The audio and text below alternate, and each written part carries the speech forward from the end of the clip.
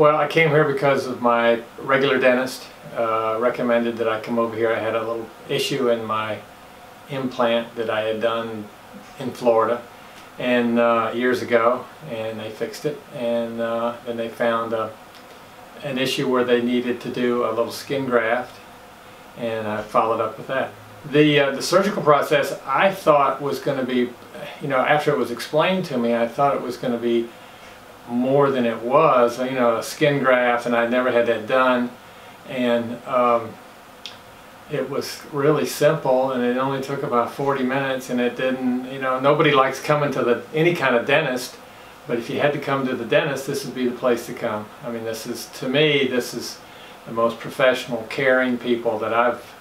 been around in as far as any kind of dental work. It's just a it's just a different experience here. It's very professional here. People, you know, they care about you and if you have a problem, if you have an issue, you have a question, everybody's really easy to deal with and talk to and uh, it's it was it's been a lot different than I thought it was going to be and they say it kind of that my my graft came out great and uh,